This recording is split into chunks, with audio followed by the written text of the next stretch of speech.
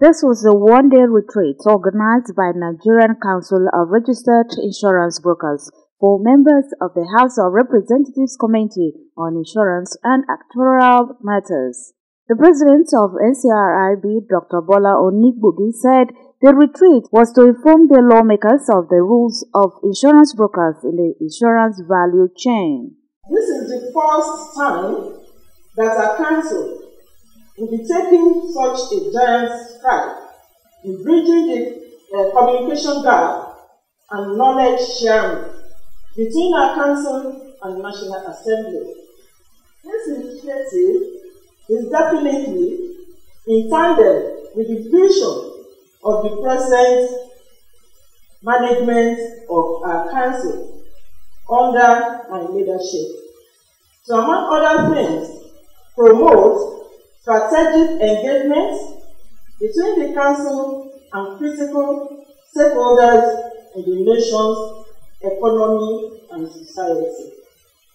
It is most heartwarming that in spite of the invasion of the COVID-19 pandemic, this leadership has been able to sustain the tempo of this vision by meeting with network institutions and worthy individuals who in turn are giving their stoic assurance of support for the image and sustenance of our council.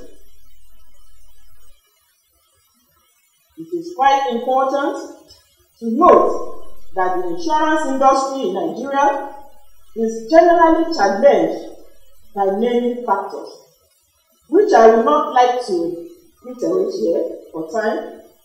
However, I must not miss to state that among these uh, challenges is the lack of sufficient legislative support in form of enabling laws that will enhance the growth of the industry, of which the insurance broking sector is a critical subset.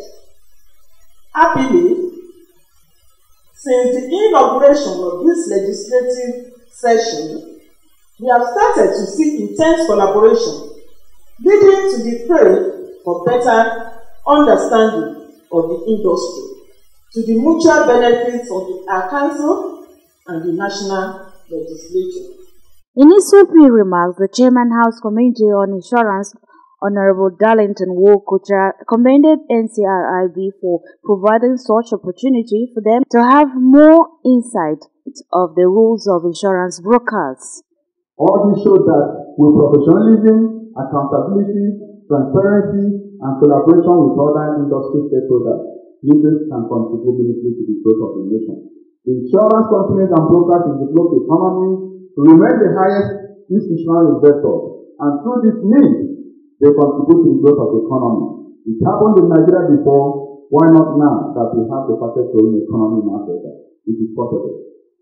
The rest assured that you will receive 100% cooperation of this committee on any good outcome of this retreat. We as as we have already set out with the speed of light to amend the Consolidated Insurance Act. After listening to the talk on role of insurance brokers in the insurance value chain and national economy and presentation on NCRIB inputs on the Insurance Bill 2020, the chairman of the House Committee promised that the committees will look into some of the inputs and issues raised during the retreat. Most of the uh, laws and acts are already obsolete. So because of the dynamic nature of the uh, society, we need to make it bring up to speed so that it will suit the modern uh, uh, society. So that's why we keep engaging, interfacing with all the stakeholders so that uh, the public and all the stakeholders will understand our position and we will get the necessary knowledge on what to do about the amendments for a better tomorrow for Nigerians. The president of NCRIB said that NCRIB will continue to sensitize the public so that they will have more in-depth knowledge of the benefits of insurance. Everything is open. There is no blanket of fog. in the insurance industry again, unlike before. Because um, it is very, very important that for the insurance public to know that it is better to buy their insurances through insurance, registered insurance brokers so that your broker will be able to guide you, advise you on what to do. So that is why we are trying as much as possible to sensitize the insurance public to know actually what to do.